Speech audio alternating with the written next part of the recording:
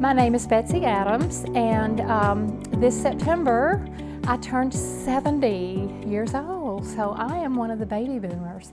And I will have to say that I feel wonderful. I had no idea that being 70 would feel this good. Um, I go back to the early days of feminism in the early 70s, 72, 73. I um, worked for an OBGYN those early days out of college, and um, it, it, was a good experience in that I learned um, how the medical profession, particularly OBGYN, uh, viewed women. Brooke um, is my neighbor, Brooke Weston, and um, she and I walk our dogs together frequently, and she mentioned Lume to me, and she said, what do you think?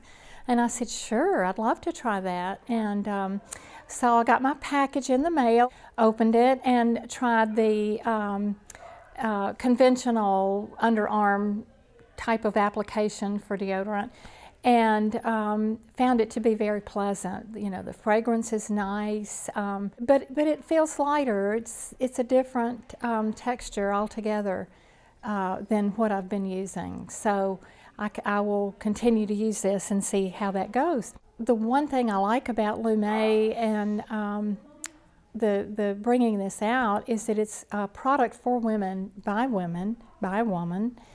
And um, it, it sounds like it's addressing some major myths and stereotypes that have been around for a long time about women's health, uh, particularly vaginal health, reproductive health.